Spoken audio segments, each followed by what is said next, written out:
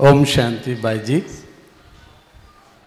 मेरा नाम है B K Vithal advocate I am a student of godly spiritual university I have seen the board and I have entered this uh, as a జిజ్ఞాసు ఇక్కడ ఆధ్యాత్మిక ప్రవచనాన్ని వినడానికే వచ్చాను కానీ ప్రశ్నించడానికి రాలేదు అనేకమైన విషయాల్లో స్త్రీ గురించి ఎంత మహోన్నతమైన స్థానం ఇచ్చినది నాకు స్పష్టమైంది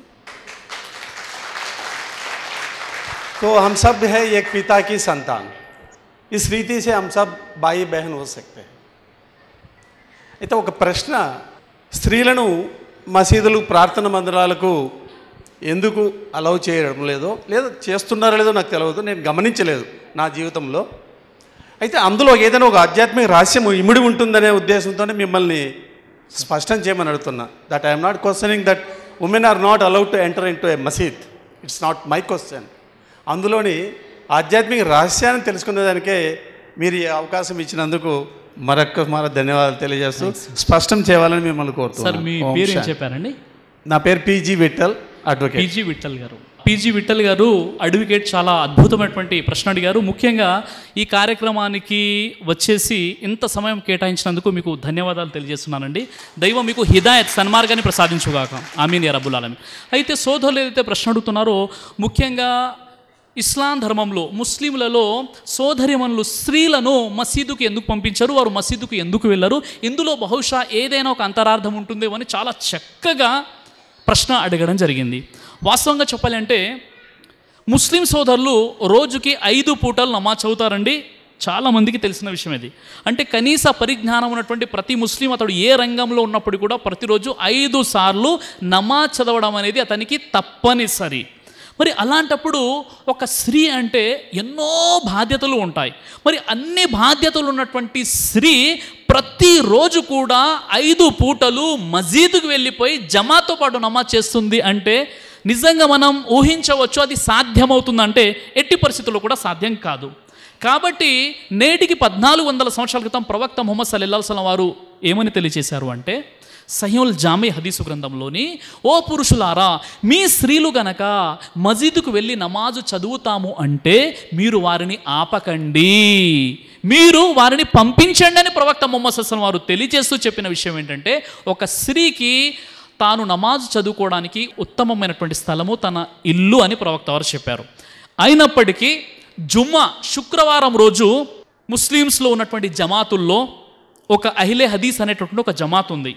ఆ జమాత్ వారు ప్రతి శుక్రవారం ఎక్కడైతే వారు మసీదులు కడతారో ఆ ప్రతి మసీదులో కూడా స్త్రీలకు ఒక సపరేట్ ద్వారం అనేది ఉంటుంది. హైదరాబాద్లో నాకు తెలిసి ఒక రెండు వందల మసీదులు ఉన్నాయి వాళ్ళవి. ప్రతి ప్రాంతంలో కూడా ఉన్నాయి. కాబట్టి వారు అలాంటి ఫెసిలిటీ కల్పించారు. ఎందుకంటే ఆధ్యాత్మికంగా స్పిరిచువల్ ఏదైతే ఉంటుందో అక్కడ ఎలాంటి అపసవ్యత అనేది కలగకూడదు అనమాట కాబట్టి అక్కడ స్త్రీలు వచ్చేటప్పుడు వారికి పరదా ఉంటుంది. వారి ఎంట్రన్స్ అనేది వేరుగా ఉండాలి. ముఖ్యంగా ఒక స్త్రీ వచ్చేసి ప్రతిరోజు ఇంట్లో పిల్లలకు పాలు పడుతూ ఆ తర్వాత ఇంట్లో పనులు చేసుకుంటూ మానసికంగా తర్వాత చాలా బాధ్యతలు ఉన్నటువంటి స్త్రీలు ప్రతిరోజు ఐదు పూటలు మసీదుకు రావడం అనేది అది సమంజసమైనటువంటి విషయం కాదు కాబట్టి ప్రవక్త ఏం చెప్పారు? ఒక స్త్రీ ఐదు పూటలు నమాజ్ చదవాలి తన ఇల్లే తనకు ఉత్తమమైనటువంటి ప్రదేశం అని చెప్పారు ప్రవక్త ముహమ్మద్ సల్సరం అయినప్పటికీ ప్రతి శుక్రవారం కూడా ముస్లిం సోదరిమణులు మజీద్కు వెళ్ళి ప్రసంగం వింటారు అక్కడ నమాజ్ చదువుతారు. మొదటి విషయం. రెండో విషయం రమదాన్లో ముప్పై రోజులు ఉపవాసాలు పాటిస్తూ ముప్పై రోజులు కూడా తరావీ నమాజ్ అనేది ఉంటుంది. ఇదైతే ప్రతి జమాత్ వారు ముస్లిమ్స్లో ఉన్నటువంటి జమాత్ ఇస్లామీ అయినా ఐలే హదీస్ అయినా వీరంతా కూడా తరావీ నమాజ్ మొత్తం కూడా జమాత్ కూడా చదువుతారు. రెండో విషయం. మూడో విషయం ఏంటంటే సంవత్సరానికి రెండు సార్లు పండుగలు ఉంటాయి. ఈదేన్. ఈదుల్ ఫిత్ర్ అంటే రమదాను పండుగ ఈదుల్ అజహా అంటే బక్రీద్ పండుగ. ఈ రెండు పండుగలకు సంబంధించి ప్రతి జమాత్ వారు కూడా తప్పనిసరిగా ఈద్గా ప్రాంగణంకు వెళ్ళి అక్కడ నమాజ్ చదువుతారు. ప్రవక్త మొహమ్మద్ సస్సం తెలియజేశారు స్త్రీలు బహిష్టు సమయంలో ఉన్నప్పటికీ కూడా మీరు ఈద్గా మైదానానికి వెళ్ళిపోయి మీరు అక్కడ దువా చేస్తుంటే మీ చేతులు పైకెత్తి మీరు కూడా ఆమీన్ అని చెప్పండి అని ప్రవక్త మొహమ్మద్ సస్సం వారు స్త్రీలకు తాకీదు చేశారు. బహిష్టు సమయంలో కూడా ఈద్గా మైదానానికి వెళ్ళొచ్చు అని చెప్పారు. అయితే సర్వసామాన్యంగా చాలామంది ఏమనుకుంటారంటే ముస్లిం మహిళలు మసీదుకు వెళ్ళరు అని అనుకుంటారు. రోజు ఐదు పూటలు వెళ్ళడం అనేది సాధ్యం కాదు మొదటి విషయం. రెండో విషయం ఏంటి అంటే శుక్రవారము ముస్లిం మహిళలు మసీదుకు వెళ్తారు. ఈదైన సందర్భంగా మసీదుకి వెళ్తారు. తరావీ నమాజ్లో కూడా వారు మసీదుకి వెళ్ళి నమాజ్ అనేది ఆచరించడం జరుగుతుంది. ఎందుకంటే సృష్టికర్తనటువంటి దైవానికి తెలుసు ఏది ఎవరికి సౌకర్యంగా ఉంటుందో. కాబట్టి పురుషుడు ఎక్కడున్నా ఐదు పూటలు మజీద్కి వెళ్ళవచ్చు. కాబట్టి అతనికి ఆ అనుమతి ఇవ్వడం జరిగింది. స్త్రీ ఐదు పూటలు వెళ్ళడం అనేది ఆమెకు అన్ని సందర్భాల్లో అది సమంజసమైన విషయం కాదు కాబట్టి ఇంట్లోనే నమాజ్ చేసుకోవడం ఉత్తమం చెప్పడం జరిగింది. కాబట్టి ఆ విఠల్ గారు అడ్వికేట్ మంచి క్వశ్చన్ అడిగారు. మీరు వేదికపైకి వచ్చేసినట్లయితే మీకు ఖురాన్ని నేను మీకు ఇవ్వాలని కోరుకుంటున్నాను. దయచేసి మీరు వేదికపై రావాల్సింది కోరుకున్నాను